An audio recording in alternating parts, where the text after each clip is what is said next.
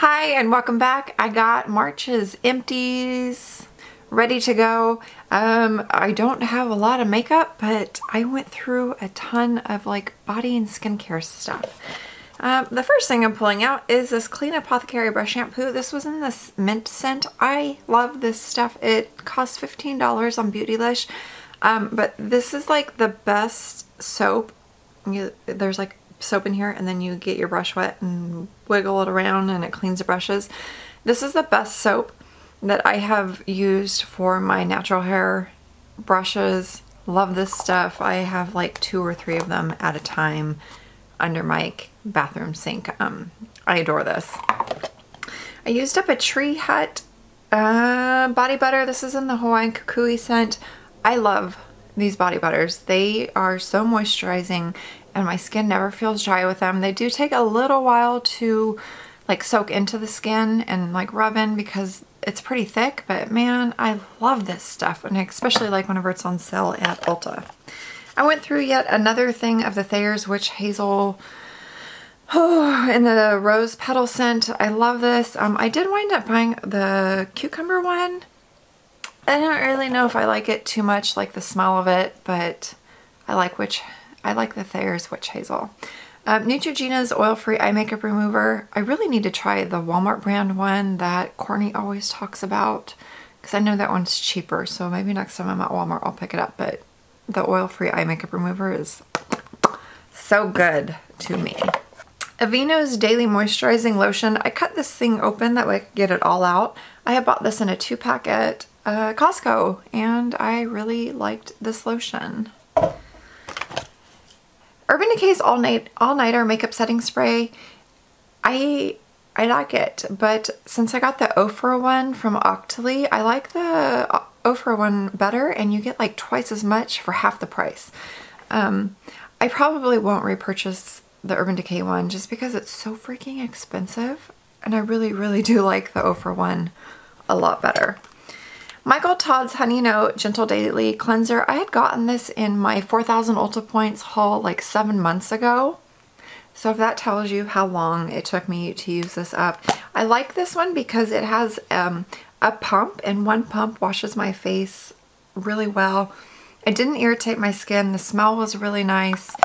I really, really enjoyed this cleanser. I will consider repurchasing it once my um, Korres Greek yogurt cleanser is all gone. Um, I really love that this was in a pump though. It lasted really, really long time. I used up a Bath & Body Works little like free shower gel in the Beautiful Day scent. I like the smell of these, but their shower gel I'm realizing breaks me out. Um, so I, if I get free coupons, I'll get the body lotion, but I won't get the shower gels anymore. Oh well, live and learn. I use up this little size of the Verb Sea Spray. I like this more in the summer whenever my hair is just going kind of wild. It's just a sea salt spray. Um, it gives it a little bit of texture, but I like this one because it wasn't overly like sticky or crunchy and the smell was really nice. And that line is pretty cheap at Sephora. I used up, uh, what is this one? The one by Frederick Fekkai. I don't remember what I got this in. I think I got it from Ulta at some point. I don't even know what it was for. I think for volume, I wasn't super impressed with it. I finally used up this Aquaphor Healing Ointment. Um, I had bought it to be a hand cream, but it's way too greasy as a hand cream. So I wound up using it on my feet at night. Um, I won't repurchase this one like ever again though. I used up a day cream from Ren. This came in a Sephora Play box. I don't have a whole lot of thoughts on it. Facial Radiance Polish. This one is by First Aid Beauty. This one also came from Sephora Playbox. I did not like the granules on this. They were really kind of rough. And I think that they're like... I thought that they, they were walnut granules. I don't know. I don't really care for the First Aid Beauty line. Um, I'll use it if I get it, but it's not my favorite. Farmacy cleansing balm. This stuff was really nice, but it's a lot more expensive than the Clinique Take the Day Off balm. Um, I really enjoyed how this one smelled, but I like I dug every last bit of this out there. It was okay, but for the price I and how much you get, I don't think I'd purchase it. This Tarte Rainforest of the Sea Marine Boosting Mist, I enjoyed. I use it underneath um, my primer just as like a sticky base similar to the Urban Decay Quick Fix. I liked it, but I probably would not purchase it. Um, I don't know. I don't know.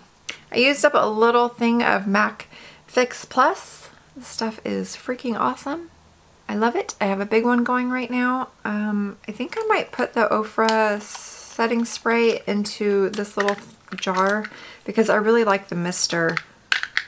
Oh, can I, what did I do? Yeah, I can take it apart. I really like the mister on the Fix Plus. It's like the best mister in the entire world. Let's see if I can like just break this though. Um, so yeah, the stuff was great. I used up two mascara things. The first is the Marc Jacobs Velvet Noir. This was a deluxe sample. I actually enjoy this mascara. I don't like it as much as the Monsieur Big by Lancome, um, but this one gave my lashes just like a really nice, just a pretty, pretty look. And then the Lancome Cils Booster XL. This is my favorite uh, mascara base or primer. I've gone through so many of these and it's a continual, continual for life repurchase. Urban Decay's Complexion Primer. This is just a deluxe sample. Um, I it was okay. I didn't think that it did very well filling my pores or anything. I didn't think it made a difference in how long my makeup lasted. So I would not buy the full size of that one. Youth to the People Kale and Spinach Green Tea Hyaluronic Acid. This is just a moisturizer, a really lightweight moisturizer. I wound up getting another sample of this on Sephora. The smell of this is divine. Um, it just has like a really nice clean scent to it. Oh, look, there's the thing. Um, I enjoyed this and if I ever get through some of my other moisturizers, like day moisturizers, I would definitely pick this one up. I really, really enjoyed that, like a lot. I went through two MAC Cleanse Off oils. Again, I don't like these as much as my Clinique Take the Day Off balm stuff, but they were all right. I don't mind getting samples of them. MAC's Prep and Prime Skin Base. I have like five more of these to get through. They're all right. I think that those might break mail though, quite possibly. Versace's Bright Crystal. This is the only perfume sample I went through. I love the smell of this. I would love to have the full size, but it's expensive. Um, Differin Gel. I want to go buy some of this. I think it costs $40 over the counter. Um, it's just a, a retinoid cream. I like it. I think it's retinoid, isn't it? Adapalene. I think it's for acne. I don't know, but I really like how this stuff makes my skin look. And then my favorite, all-time favorite clear top coat is HK Girl by Glisten and Glow bottles and bottles of this. I wound up buying the refill thing and I was like refilling this one, but now I'm moved on to another bottle of this. So yeah. My grand total for this month, I used up $141 of stuff. That's not including the sample sizes. Um, I'm too lazy to figure out how much samples cost, but I used up over a $100 worth of skincare and a few like makeup items. But yeah, I'm doing pretty good. All right, thank you so much for watching. Hopefully this was a little bit helpful. If not, thank you. I hope that you don't feel like you wasted any time. All right, have a wonderful rest of your day and I will see you in the next one. Bye.